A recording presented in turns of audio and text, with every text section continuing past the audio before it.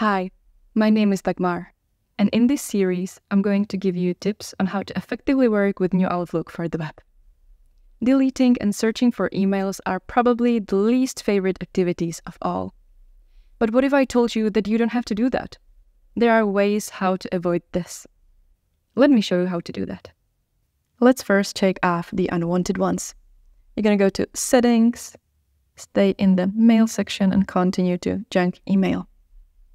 Here, we're going to first focus on the first half of this folder, which is uh, creating a list of blocked senders and domains. You're going to do that very simply uh, by clicking on the Add button. And here we're going to add uh, an email address we want uh, the emails to be blocked from. So I'm going to just give an example and confirm by clicking Enter. And the same goes with um, domain. Again, I'm going to click first the add button, then fill in the domain and confirm by clicking enter. If you want to make edits of the domains or um, email addresses, you're going to do that by clicking this pencil. Now we're going to make um, edits, confirm by clicking enter.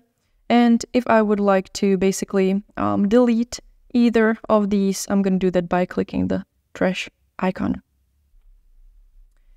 If the list is uh, done, if there are all the email addresses and domains you want there, you're gonna scroll down to the filters section and take the second uh, option, which is trust email from my contacts. And uh, when it comes to reporting, we're gonna leave it as it is by default. Um, so that is uh, when reporting phishing or junk, always uh, ask me before sending a report. That's it. Now we can just confirm everything by clicking the Save button, and the list of blocked senders and domains is ready. And when it comes to the list of safe senders and domains, um, we're gonna go into this part.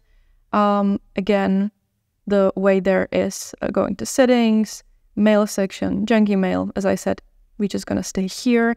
Um, and we do that very similarly um, we're gonna click the add button. Again, here I'm gonna add um, email address I want to um, label as safe. So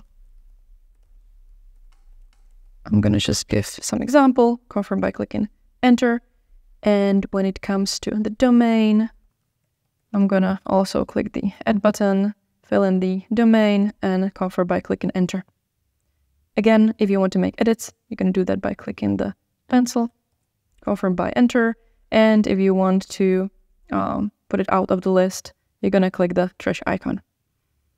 If the list of the safe senders and domains is filled, if there are all the contacts you want there, you're going to go again to the filters. And here we also want to take the first option, which is only trust email from addresses in my safe senders and domains list and safe mailing lists.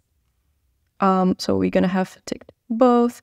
And then when it comes to reporting, we're going to leave it as it is. Now you click the save button and it's all done. Um, thanks to this, thanks to these two lists, you're going to stay safe and have only non-toxic content in your inbox.